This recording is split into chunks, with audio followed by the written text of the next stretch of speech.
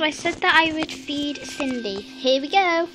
Well, this year, half efficiency, I just spent trying to do this mining, and it certainly wasn't worth it. They'll need to serve as his She's eating this corn on the cob. So this amount of fish, uh, you know, may seem like a lot, but it's, uh, it's going to feed this uh, entire dog team and uh, all the people in the house for eight months. So it's a real, uh,